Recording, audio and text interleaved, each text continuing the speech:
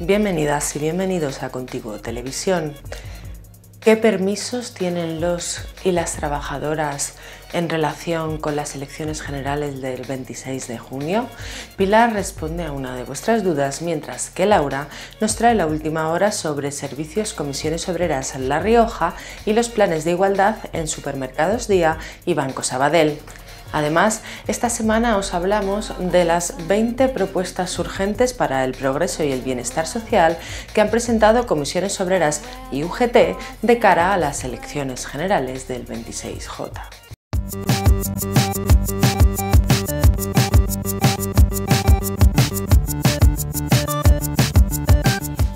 El pasado 2 de junio, el Consejo de Servicios Comisiones Obreras La Rioja elegía a Álvaro Fuertes Ayala como su nuevo secretario general con el 95% de los votos. El recién elegido secretario general quiso destacar en su discurso que apuesta por una dirección sindical abierta, participativa, democrática y transparente, así como por un equipo bien estructurado después de una reorganización basada en el consenso. Servicios Comisiones Obreras ha firmado el plan de igualdad en supermercados Día. Para el sindicato el texto es ambicioso, riguroso y realista. El principal objetivo que persigue es que la promoción en supermercados Día no dependa del género. El pasado 3 de junio se renovaba también el plan de igualdad de Banco Sabadell. El texto incluye novedades en materia de promoción, licencias no retribuidas, parejas de hecho, ayuda escolar en caso de excedencia, entre otras. Para comisiones obreras, los graves problemas de la gente no pueden esperar más. Por eso, las dos grandes centrales sindicales que representan a la mayoría de los y las trabajadoras han presentado 20 medidas urgentes de cara a las elecciones del 26 de junio.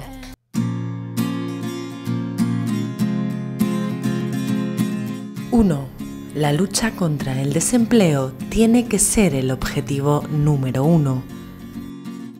2. Derogar las reformas laborales impuestas y luchar contra la precariedad laboral. 3. Acabar ya con la política de austeridad compulsiva, tanto en España como en la Unión Europea. 4 elevar el salario mínimo e impulsar incrementos salariales reales para recomponer las rentas e impulsar el crecimiento. 5. Reforzar las políticas activas de empleo y extender el sistema de protección por desempleo. 6. Reformar la política fiscal, aumentar los ingresos y hacer que paguen más los que más tienen. 7 promover un suelo de gasto social en la Constitución.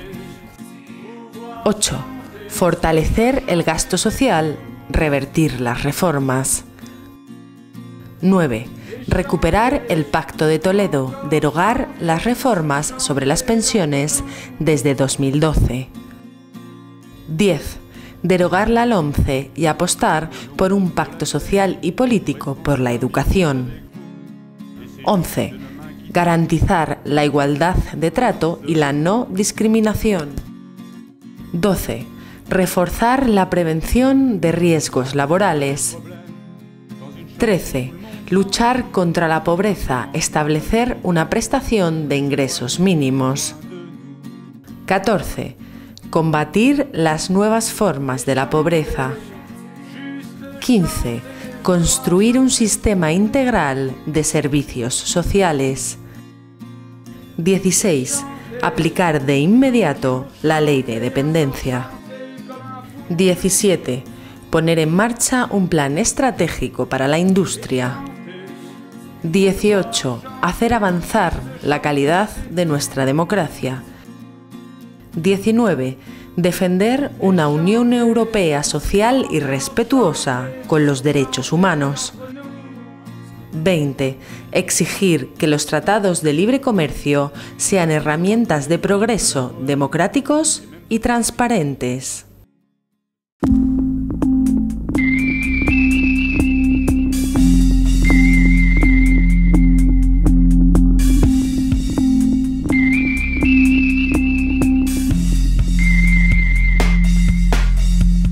Si eres electora o elector y tu jornada de trabajo coincide entre las 9 y las 20 horas del día 26 de junio, ya sea total o parcialmente, tendrás derecho a un permiso de una duración diferente en función del grado de coincidencia. Si no coincide o coincide en menos de dos horas, no da lugar a permiso retribuido. Si la jornada de trabajo coincide en dos o más horas y menos de cuatro, tienes derecho a un permiso de dos horas. Si la jornada de trabajo coincide en cuatro o más horas y menos de seis, dará lugar a un permiso de tres horas. Y si es seis o más horas, tienes derecho a ausentarte del trabajo de manera remunerada durante cuatro horas. Si tu contrato es a tiempo parcial, se reduce en proporción a la jornada que estés realizando, siempre puesta en relación con un trabajador a jornada completa en la empresa. Hay que tener en cuenta que corresponde al empresario la distribución y la organización del trabajo, por tanto, decidirá en qué hora, en qué franja horaria van a ejercer sus trabajadores el derecho al, voto y, por tanto, van a tener estos permisos. Si eres miembro de una mesa electoral o interventor o interventora de una candidatura y no es tu día de descanso semanal, tendrás un permiso de jornada completa. Si es tu día de descanso semanal, tendrás una reducción de 5 horas al el día inmediatamente posterior.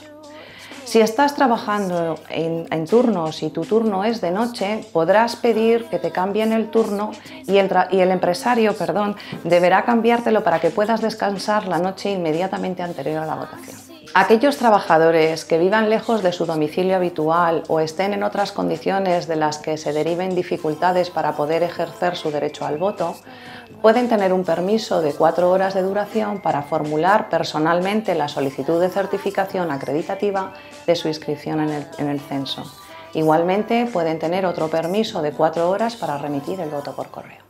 Y hasta aquí hemos llegado. Volvemos la semana que viene. Mientras tanto, ya sabes, búscanos en el canal YouTube, la web o el Facebook de Servicios Comisiones Obreras.